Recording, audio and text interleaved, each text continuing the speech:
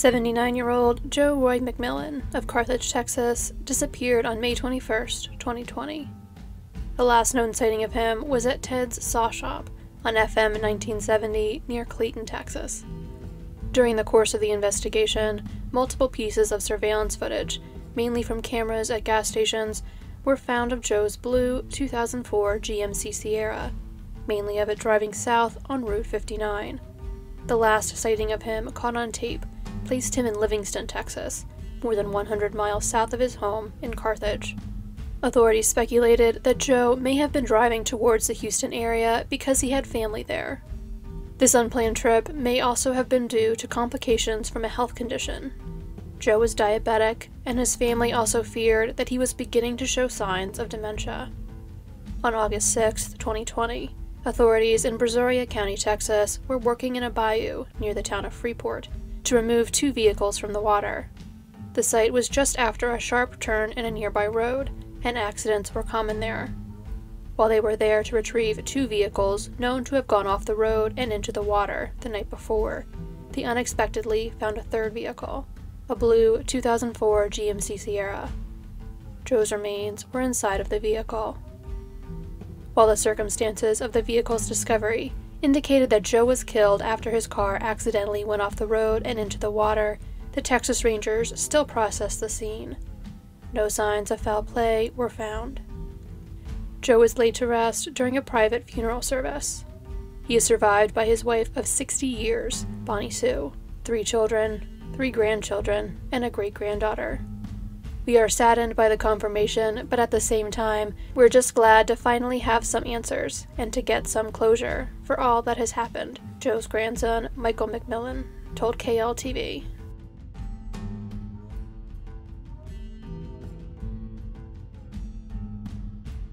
Rochelle Thomas Stubblefield was a gifted athlete, attending Calumet College of St. Joseph in Whiting, Indiana, on a track and field scholarship. She had to take a step back from running in 2015 when she became pregnant. She was expecting a boy, whom she planned to name Amir Deshawn Thomas Stubblefield. Her due date, December 15th, was just 10 days before her own birthday, on Christmas Day. In 2015, she would have turned 21. November 10th, 2015, started out as a normal day for Rochelle.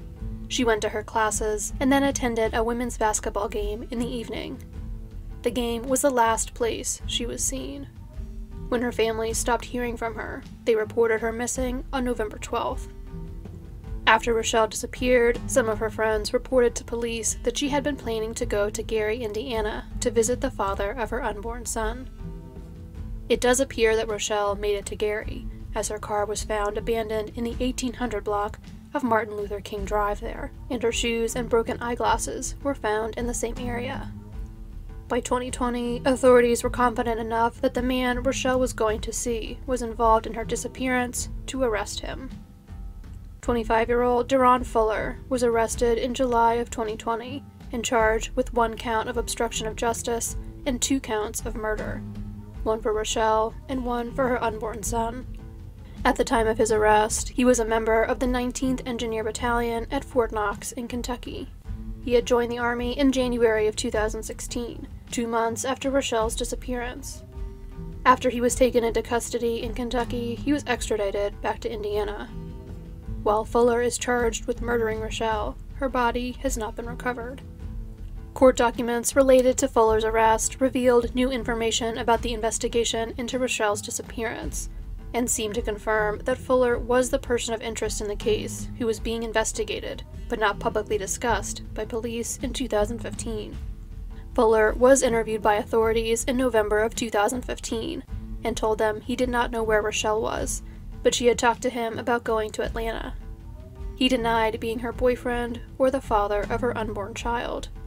He said he knew Rochelle had told her mother that he was, but that he didn't know why. Ten days after Rochelle was last seen, police in Indiana received a tip from police in Illinois. Two of Fuller's cousins had come forward claiming that he had confessed to them during a phone call that he had killed a woman who was eight months pregnant with his child. He was afraid of being asked to pay child support, and therefore choked her and stabbed her in her temple. He then buried her body behind Williams Elementary School in Gary. Three days later, Fuller was taken into custody at the home of another woman with whom he was romantically involved. When she was interviewed by police, she told them that she had picked Fuller up from the track at Williams Elementary School after he called her and asked for a ride. He told her that something had happened to Rochelle and that he was responsible for it.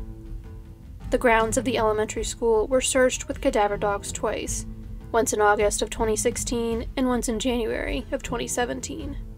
During the second search, the dogs indicated that there were human remains present on a hillside behind the school, but nothing was found when police began digging up the area.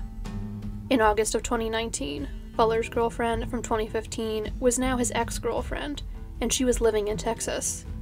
Investigators traveled there to speak to her again, promising her immunity from prosecution in the case. During this interview, she stated that Fuller had been throwing items that belonged to Rochelle out of the car window as they drove away from the elementary school, and that he told her he killed Rochelle by choking her. Fuller's defense attorney has said that he finds it odd that his client was arrested in 2020 when police have not found any new significant information. Their reasoning will hopefully become clear as the case progresses. Rochelle's body still has not been found.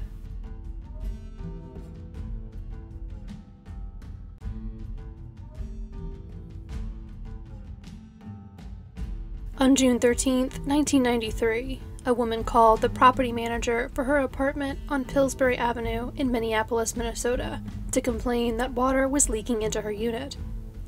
The manager determined that the water was coming from a certain apartment in the building, but no one answered the door when he went to it. After he let himself in, he found that the source of the water was the shower, which had been left running. He also found a large amount of blood and the nude body of 35 year old Jeanne Childs. She had been stabbed multiple times. Jeannie was a sex worker who brought clients back to this apartment, which was rented by her boyfriend, who had been out of state at the time of her murder. Her case went cold, but several items were collected from the scene. Eventually, they were tested for DNA. A DNA profile was developed from sperm cells on items from the scene and from two other non sperm cell fraction samples taken from Jeanne's towel and comforter. This DNA profile was not found in any criminal databases, but in 2018 it was run through a commercial DNA site, and genetic genealogy was used to identify a suspect who had been living in Minneapolis at the time of the murder. That suspect was placed under surveillance, and in early 2019, Authorities followed him to a hockey game. There, they witnessed him eat a hot dog and wipe his mouth with a napkin. When he threw the napkin away, they collected it. The DNA found on the napkin was a match to the DNA from the crime scene. The suspect was 52 year old Jerry Westrom, a married father of three. He was arrested and charged with second degree murder in February 2019. A direct DNA sample was then taken from him and confirmed the DNA match. Speaking with police after his arrest, Westrom denied any involvement in Jeanne's murder. He further claimed that he had never even been in that apartment or that apartment complex. When he was shown a picture of Jeannie, Westrom said he did not recognize her and claimed that he had not had sex with any woman in Minneapolis in 1993. He could not explain why his DNA was at the scene. He posted bail and was released. Westrom, with the support of his family, maintains his innocence his lawyer has claimed that the evidence against his client is thin because some of the DNA came from sperm and the victim was a sex worker. In April of 2019, authorities announced that another piece of evidence tied Westrom to the scene a bare footprint left in Jeanne's blood, which was a match to Westrom's footprint.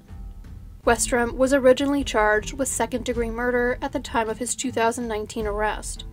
However, on June 25, 2020, a grand jury indicted him for first degree premeditated murder in the case. He turned himself in to the Hennepin County Sheriff's Office the following Monday. With the charge increased, a judge also increased his bail to $2 million, up from the $500,000 it had been set at following his initial arrest on the second degree charge in 2019. He was able to post it and was released on July 16th. At the end of July 2020, Westrom's trial date was finally set for April 19, 2021. Hearings in the case were originally delayed because the defense was waiting for evidence in the case, which Westrom's lawyer says they are still waiting for. Proceedings have now been delayed due to the ongoing pandemic.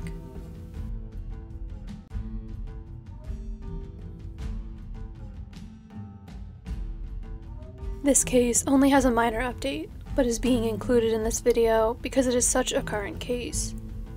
Detreck Foster was a loving father of two daughters who lived in Independence, Kansas. He did not live in the same town as most of his loved ones. His ex wife and daughters live in Kansas City, and the majority of his family lives in Parsons, Kansas. He was also in the process of getting a new phone, which resulted in there being a period of a few days where he was out of contact in April of 2020. He remained out of contact beyond those few days, but no one in his family realized that he had been out of contact with all of them until Detreck failed to make his customary calls to his ex wife, sister, and mother on Mother's Day. He was then reported missing. The last sighting of Detreck, authorities have been able to confirm, occurred on April 12, 2020, in Independence. Since he has been missing, Detreck has missed the birthdays of both of his daughters, Father's Day, and his and his twin sister's 38th birthday. His disappearance is being investigated by the Kansas Bureau of Investigation and the Independence Police Department. On September 4, 2020, Kansas Governor Laura Kelly signed an executive order offering a $5,000 reward in Detreck's case. In a September 9th press release announcing the reward, the KBI stated that they and the Independence Police Department are treating the case like a homicide based on the information they have uncovered during the course of their investigation. Due to the ongoing nature of the investigation, they cannot disclose what that information is to the public. Governor Kelly also referred to Detreck's case as a likely murder in her executive order, which also recognized that the investigators have dedicated over 1,000 hours to the investigation and followed up on almost 90 different leads in the case.